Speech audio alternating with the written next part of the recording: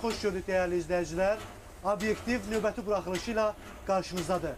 1880-2021 İlk xəttin istismara verildiyi ildən bu günə dək Azərbaycan dəmir yolları böyük bir inkişaf mərhələsini gerdə qoyub.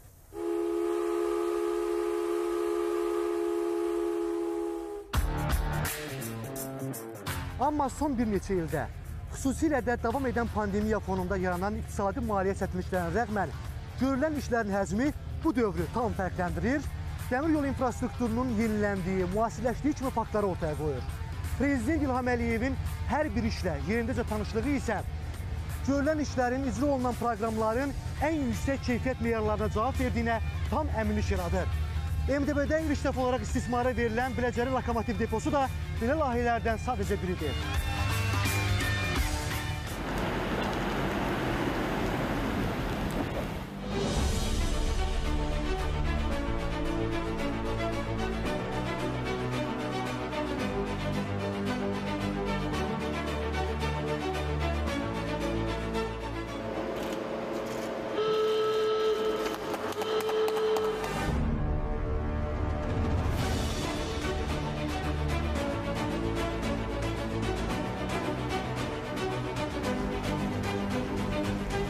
Qlobal miqyasda ən mötəbər təşkilatlardan biri olan Dünya İqtisadi Forumuna görə Azərbaycanın dəmir yollarının səmərəliliyinə görə 11-ci, keyfiyyətinə görə isə 34-cü yerdə qərarlaşıb. Sözsüz ki, lokomotiv deposu kimi yeni layihələrin icra edilməsi, sözcüdən sahənin maddi texniki bazasının möhkəmləndirilməsi hər iki indeks üzrə artıma nail olunacağına açıq işarədir. Yadigar müəllim, salam, hər vaxtınız xeyir olsun. Salam. Xoş gördük. Əvvəla ə, Biləcərdə yeni lokomotiv deposunun istismara verilməsi münasibəti ilə bütün dəmir yolçuları təbrik edirik. Çox sağ olun. Təşəkkürlər. Ə, Bildiyimiz kimi son illər ölkəmizdə iqtisadiyyatın diversifikasiyası, qeyri-neft sektorunun inkişaf etdirilməsi istiqamətində nəinki infrastruktur layihələri ə, həyata keçirilir. Sözsüz ki, Biləcərdə yerləşən lokomotiv deposu da bu layihələr içərisində özünə məxsusluğu ilə seçilir. Əvvəla bu məsələyə aydınlıq gətirək. Bu özünə məxsusluğu şərtləndirən hansı faktorlardır? Yəni Biləcəri lokomotiv deposu hansı fəaliyyət istiqamətlərinə malikdir? Burada hansı işlər həyata keçirilir və əvvəlki dövrlə müqayisədə hansı üstünlüklər qazandırır? Bildiyiniz kimi bağlanmış müqaviləyə əsasən Bəli. 50 ədəd dəyişən cəryanla müasir elektrovozların istehsal olunaraq ölkəmizə gətirilməsi planlaşdırılmışdır. 10 ədəd e, elektrovozun sərnişin daşımasında və 40 ədəd elektrovozun yük daşımasında istismar ediləcəyi nəzərdə tutulub. Hal-hazırda 39 ədəd elektrovoz ölkəmizə gətirilib. Bu növ elektrovozların mövcud depolarda texniki xidmətini yerinə yetirmək mümkün olmadığı üçün ona görə ki, mövcud depolar sabit cəryanla işləyən elektrovozlar üçün texniki xidmət göstərir. Bu növ e, yeni depoların tikintisinə tələbat yaranmışdır. Ə, Biz hazırda sizinlə Biləcəri lokomotiv deposunun içərisi ilə hərəkət edirik. Ə, Və burada bir çox müxtəlif təyinatlı texnologiyaların olduğunu görürük. Yəni bu texnologiyalar ə, müasirlik baxımından nə dərəcədə qanedici sayıla bilər və bunların hər birinin ayrı-ayrılıqda iş prinsipi nədən ibarətdir? Gördüyümüz bu avadanlıqlar ən müasir sonu texnologiya ilə hazırlanmış avadanlıqlardır. Bunlar elektrovozların təkər cütlərinin əsaslı təmirini yerinə yetirilir. Təkər cü- oxları yonulur, ölçü ölçüyə gətirilir və pres vasitəsilə e, yeni təkər cütü yığılır və elektrovozun altına quraşdırılır. Yeni inşa edilmiş depoda Alstom istehsalı olan elektrovozların əsaslı təmir daxil olmaqla bütün növ təmirləri keçirilməyə nəzərdə tutulmuşdur.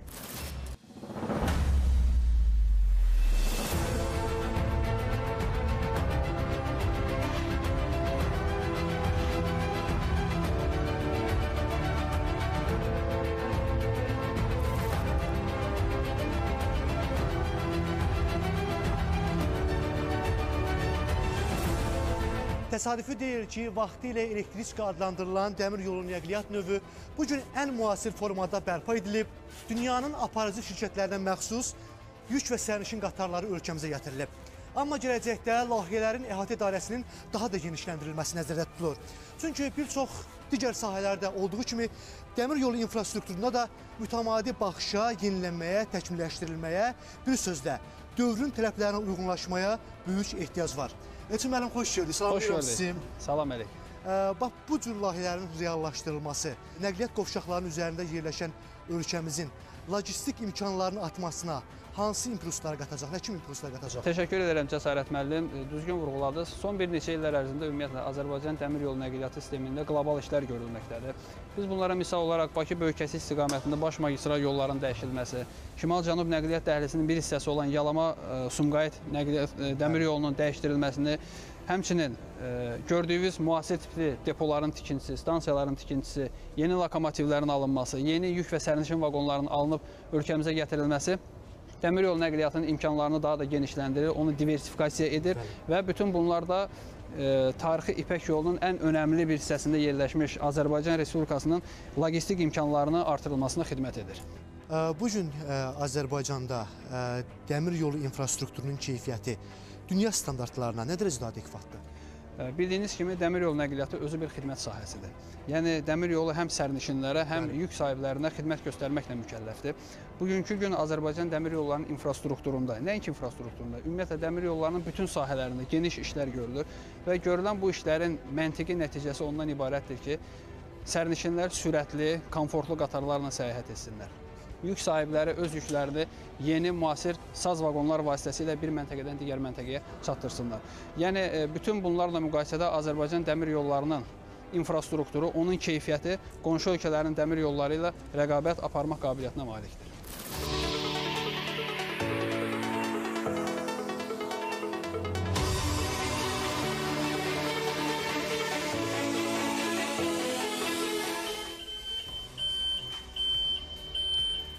Hər bir müəssisə müəyyən bir kadr potensialı tələb edir. Yəni respublikamızın dörd bir yanında fabriklər, zavodlar, bax bu tip müəssisələr istismara verildikcə onlarla, yüzlərlə, minlərlə vətəndaşımız da daimi iş yeri ilə təmin olunur. Hər vaxtınız xeyir olsun. Özünüz təqdim edin zəhmət olmasa. Xəlil Əyyub. E, Hal-hazırda burada mühəndis vəzifəsində çalışıram. Bu gördüyünüz e, avadanlıq lokotraktor adlanır.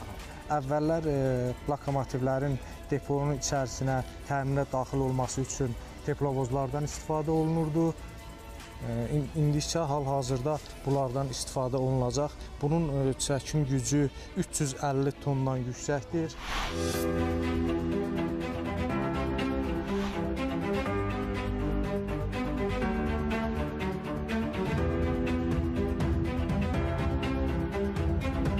Dəmir yolları həm də birləşdirici funksiyanı özündə ehtiva edir. Qonşu ölkələrlə əlaqələrin qurulması, yüklərin çatdırılması, rahat və təhlükəsiz sərnişin daşınmasının təmini və s.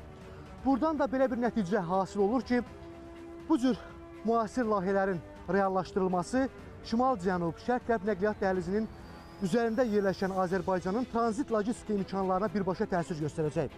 Bizim üçün ən əhəmiyyətlisi və birbaşa mənəvi anlam daşıyan məsələ ondan ibarətdir ki, bu cür müasir infrastruktur yeni tarixi layihələrin, xüsusilə də Zəngəzur dəhlizinin icra sürətini artıracaq, qarşıya qoyulan hədəflərin reallaşdırılmasına öz müsbət təsirini göstərəcək. Vüqar müəllim, hər vaxtınız xeyir Hər olsun. xeyir, Xoş gördük. Xoş gününüz olsun. Artıq demək olar ki, Azərbaycan dəmir yollarının tarixində də yeni bir mərhələ start götürüb. Bu təbii ki, Zəngəzur dəhlizinin reallaşdırılması ilə bağlıdır. Bax bu ə, tarixi layihənin ə, həyata keçirilməsi Azərbaycanda dəmir yolu şəbəkəsinin genişləndirilməsinə, səmərəliliyinin artırılmasına, ə, xüsusi dividendlər qazanılmasına, ən sonda isə ölkə iqtisadiyyatına belə deyək, hansı töhfələri verəcək? Çox vacib məqamda Cəsarət müəllim. Nəzərə alsaq ki, işğaldan azad olmuş ərazilərimizdə artıq dəmir yolu şəbəkəsi qurulur və uzun müddət işğal altında olan ərazilərimizdə nəqliyyat inkişaf edir, logistik xidmətlər yaranır, şəbəkə formalaşır. Və təbii ki, artıq sizin qeyd etdiyiniz kimi ə, nəqliyyat şəbəkələrindən biri də Zəngəzur dəhlizidir və bildiyiniz kimi Zəngəzur dəhlizinin həm dəmir yolu xətti, həm də təbii ki, avtomobil yolu olaraq istifadəyə veriləcəyi gözlənilir və eyni zamanda işğaldan azad olmuş ərazilərimizdə formalaşan dəmir yolu xətti həm də növbəti mərhələdə Zəngəzur dəhlizinin inteqrasiya olunacaq.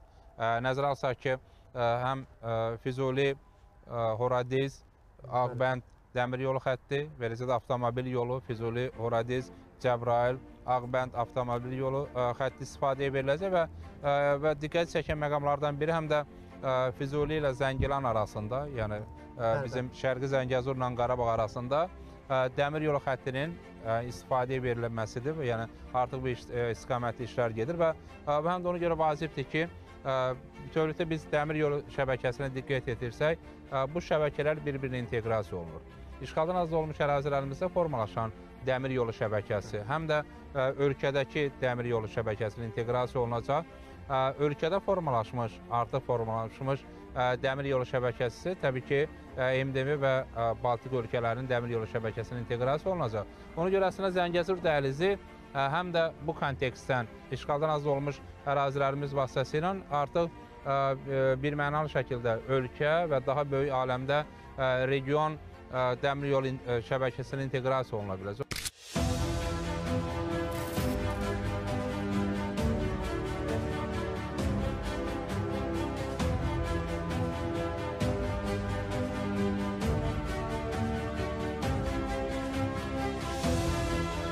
Bizim üçün mənəvi olan məsələ Qarabağ və Şərqi Zəngəzurda hansı layihələr həyata keçirilir?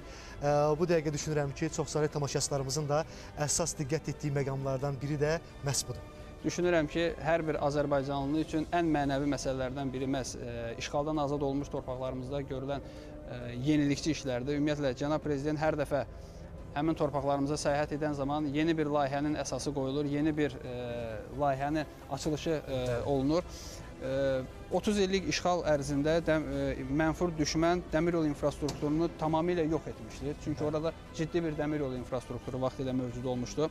Lakin ə, Hətta mən ə, əldə etdiyim informasiyalara görə vaxtilə Ulu Öndər Heydər Əliyevin təkidi ilə də dəmir yolu çəkilmişdi ə, və ə, işğal 20% torpaqlarımız işğal olunanda 240 kilometr səhv etmirəmsə dəmir yolu infrastrukturu da düşmən tərəfindən dağıdılmış, işğala məruz qalmışdı. tamamilə Amma artıq bitdi. Artıq o dönəm bitdi, artıq yeni səhifə başlayır bizim Qarabağımızdan ötürü.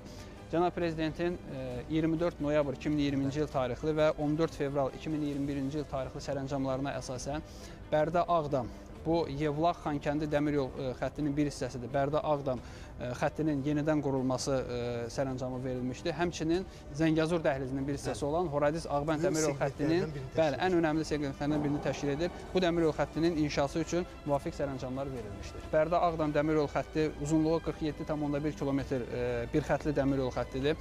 Bu xəttin üzərində yerləşən Bərdə və Köçərli stansiyaları təmir olunacaqdır. Təzəkənd və Ağdam dəmir yol stansiyaları yenidən tikiləcəkdir.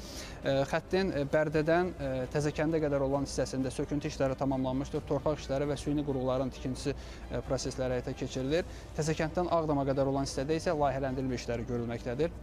Horadiz Ağbənd dəmir yol xəttinin isə 39 kilometrə yaxın bir hissəsi artıq minalardan təmizlənmiş və orada e, orada e, süni qurğuların, torpaq yataqlarının işlənməsi üçün əməli işlər aparılmaqdadır.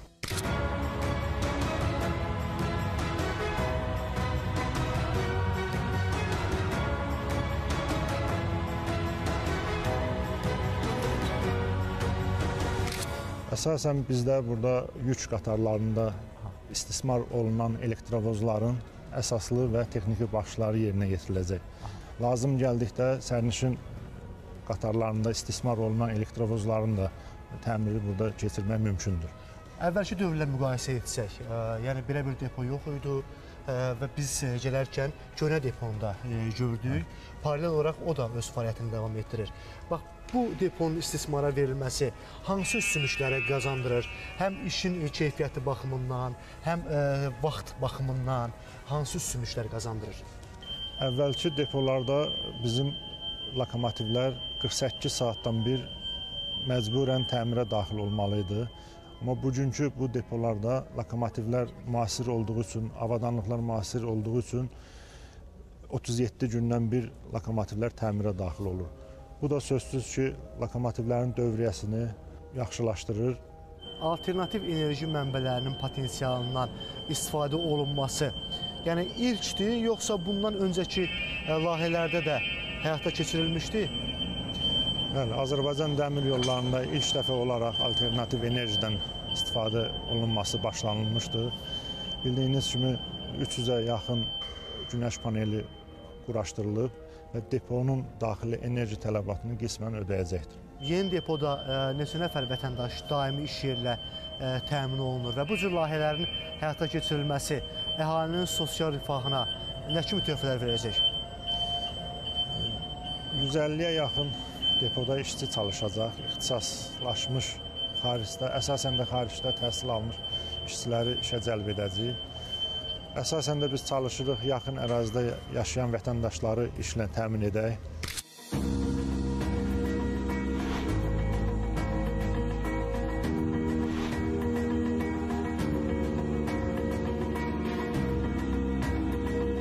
Əvvəllər ə, köhnə depoda Bəli, əvvəllər köhnə depoda fəaliyyət göstərirdi. Bir ildir də hal-hazırda lokomotivlərin təmiri şöbəsində mühəndis çalışıram. Ə, Bax, ə, əvvəl köhnə depoda çalışırdınız, indi isə artıq yeni depoda. Ə, Təbii ki, ə, hər birimizin ə, gün ərzində vaxtının böyük bir hissəsi işdə keçir. Rahatlığınız necə? Təmin olunurmu? Bax, köhnə ilə yeninin ə, arasında fərq nədə görürsüz siz bir işçi olaraq? Köhnə ilə yeninin arasında fərq e, dəfələrlə çoxdur. Hal-hazırda elə gördüyünüz belə avadanlıqlar, hətta burada tək bu avadanlıq yox, çox avadanlıqlar var. Onların hamısı bizim e, işimizə e, həm sürətləndirəcək, həm işimizin yaxşı olmasında, həm keyfiyyətli olmasında bizə çox kömək eləyəcəkdir. Rahatlığınız necə bir vətəndaş olaraq? Təmin olunur Çox gözəl, bəli, çox gözəl, əla. İstilik sistemi də Bəli, quraşdırılır. qazanxanamız var. Çox gözəl də işləyir, yaxşıdır. E, gördüyünüz kimi də e, hər bir şəraitdə bizim üçün yaradılır.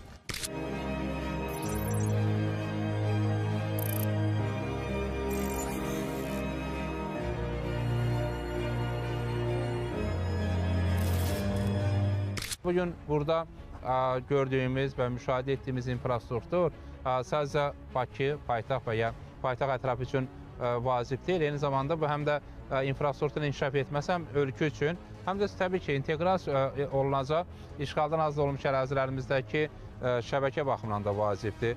Dəmir yolu xəttinin şəbəkəsinin genişləndirilməsi baxımından vacibdir. Bu təbii ki, çox böyük üstünlüklərə malik olacaq. Əvvəla bildiyiniz kimi dəmir yol daşınmaları iqtisadi baxımdan rentabillidir. Çünki bunun iqtisadi rentabelliyi odur ki, xərci nisbətən azdır. İnteqrasiya olunduqdan sonra daha geniş bazarlara çıxış imkanları əldə edir və xüsusən nəzərə alsaq ki, işğaldan azad olmuş ərazilərimizdə qeyri-neft məhsullarının istehsalı nəzərdə tutulur. Böyük bir ümumiyyətlə bizim potensiala bax baxsaq işğaldan azad olmuş ərazilərimizin ilkin qiymətləndirmələri göstərir ki, 5 milyard manatdan artıq potensialı var məhsul istehsalı baxımından. Azərbaycan iqtisadiyyatının 8-10 faizini formalaşdırmaq gücünə malik olan bir ərazilərimizdir. Və təbii ki, həmin o yetişdirilən, həmin o əldə edilən məhsulun və yeni dəyərin ixracatına, bazarlara çıxarılmasına ehtiyac var. Bu gün bizim gördüyümüz dəmir yolu xəttləri həm də nəqliyyat baxımından həmin məhsulları yeni bazarlara çıxardır. Yəni səbirlə ki, Zəngəzur dəhlizi böyük bir regionu birləşdirəcək bir dəhliz olacaq. Yükdaşımalar baxımından ə, ciddi əhəmiyyətə malik olan bir ə, dəhliz olacaq. Çünki bu həm də ə, qərblə şərqi birləşdirən bir dəhlizdir və eyni zamanda ə, şərq-qərb beynəlxalq nəqliyyat dəhlizinə inteqrasiya olunan bir dəhlizdir. Ə, Türk dilli ölkələr arasında beynəlxalq yükdaşımaların artırılması baxımından vacib bir dəhlizdir. Ona görə də dəmir yol sistemində infrastrukturun inkişaf etməsi bizim üçün vacib olan və bizim üçün əhəmiyyətli olan, nəinki bizim üçün, yəni bütövlükdə region üçün vacib olan layihənin reallaşması baxımından da çox əhəmiyyətli hesab olunur. Nəticədə təbii ki, bugün formalaşan infrastruktur növbəti mərhələdə bizim üçün vacib olan dəhlizlərin açılması prosesini sürətləndirəcək.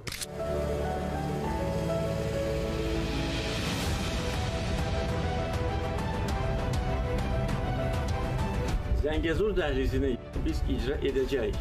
Ermənistan bunu istəsə də, istəməsə. İstəsə daha asan həll edəcəyik. İstəməsə də zorla həll edəcəyik.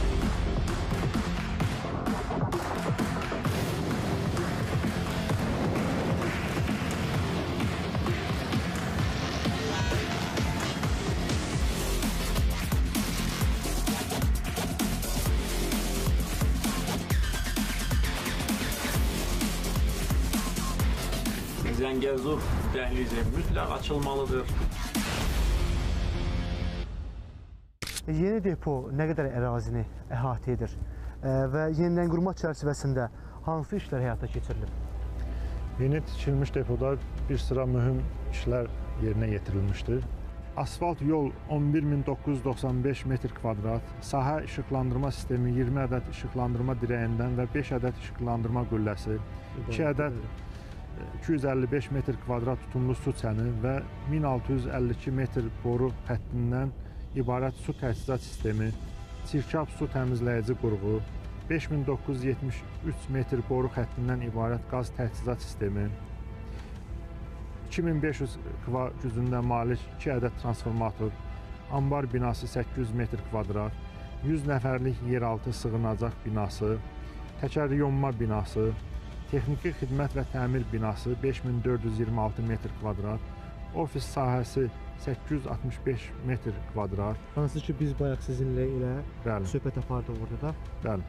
19 ədəd yol dəyişən daxil olmaqla ümumi uzunluğu 3583 metr dəmir yolu xətti, kontakt şəbəkə sistemi 3700 metr, 77 ədəd kameradan ibarət sistem, Bu da yəqin ki, təhlükəsizliyin təmin olunması bəli, məqsədilə ərazini nəzarət altında saxlar. 66 kilovat gücündə 147 ədəd paneldən ibarət günəş paneli sistemi, 160 ədəd panel ibarət su isitmə sistemi. Depo üçün bunlar nəzərdə Bəli. tutulub. Depo üçün nəzərdə tutulmuş avadanlıqlar 346 ədəd ümumi sayı, onlardan 48 ədədi böyük ölçülü avadanlıqlardır, 298 ədədi isə mobil və kiçik ölçülü avadanlıqlardır. Hər biri də ən müasir standartlara cavab Bəli, bəli.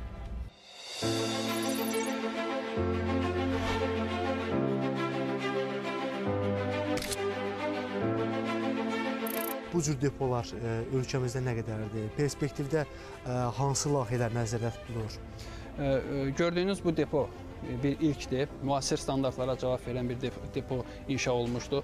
Bu depo, ə, deponun təyinatı müasir yeni alınmış lokomotivlərə xidmət göstərmək üçün nəzərdə tutulmuşdu və növbəti mərhələlərdə belə depoların ölkəmizin müxtəlif regionlarında tikintisi nəzərdə tutulmuşdu. Yeni deponun ənənəvi depolardan fərqi ondan ibarətdir ki, bura ən müasir standartlara cavab verilərək tikilmişdi.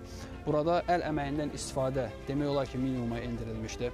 Burada e, yeni alınmış lokomotivlərə xidmət göstərmək üçün hər cür şərait vardır. İşçilərin rahat işlə iş şəraitinin yaxşılaşdırılması üçün Əsas bütün məsələlərdən imkanlar biri də budur. aparılmışdı. Bəli, təbii ki,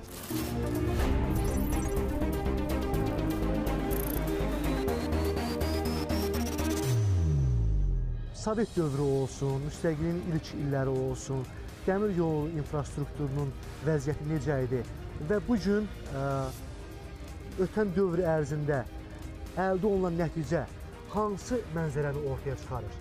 Təbii, ə, əslində bu deponun timsalında cənab prezidentin iştirakı ilə ə, bu bu gün bizim olduğumuz deponun açılışı oldu və artıq ə, istifadəyə demək olar ki, hazırdır.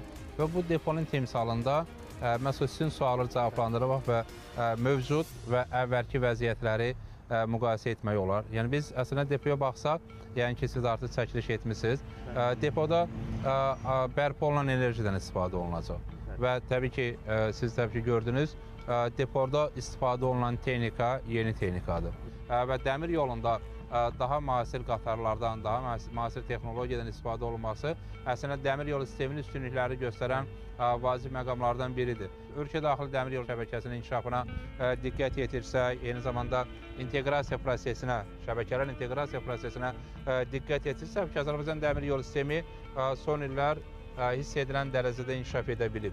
Əslində bu deponun açılışı da məhz o inkişafdan xəbər verən elementlərdən, məhz addımlardan biridir. Bu təbii ki, davam edəcək çünki əslində dəmir yolu sistemi üçün də bəlli bir hədəflər var, prioritetlər var. Bildiyiniz kimi Azərbaycanda sürətli qatarlardan istifadə olunması, şəbəkənin genişləndirilməsi və xüsusən ə, Bakı Tiflisi Qarsdan sonra daha regional əhəmiyyət daşıyan bir şəbəkənin inkişaf etdirilməsi, hansı ki artıq inteqrasiya olundu və bizim qeyd etdiyimiz Zəngəzur dəhlizindən sonra bu istiqamətli işlərin daha şəkildə aktiv olması ondan xəbər verir ki, əslində ə, Cəsarət müəllim, siz qeyd etdiyiniz 30-cu illərdəki olan dövrdə ə, dəmir yolu şəbəkəsinin daha da inkişaf etdirilməsi və şəbəkədə daha innovativ ə, metodlardan, texnologiyanın istifadə edilməsi birmənalı şəkildə hədəflərdən və prioritetlərdən biri olacaq və olub artıq.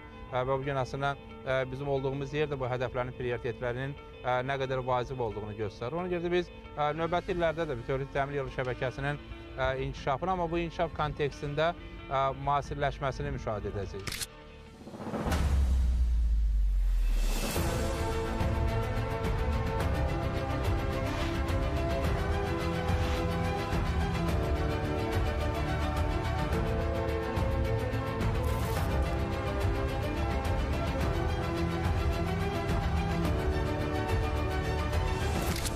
Bugünlük bizdən bu qədər.